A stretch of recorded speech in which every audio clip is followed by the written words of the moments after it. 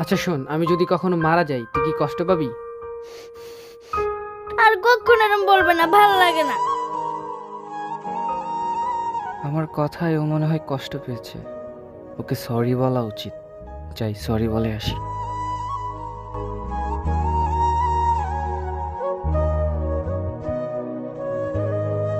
Hello আম্মু ভাইয়া আজকে আমাকে মরার কথা আছে।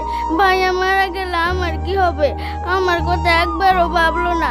ভাইয়া যদি মারা যায়, আমি যে ভাইয়ার কাছ থেকে পাঁচশো টাকা পাই, সেটা আমাকে কে দিবে?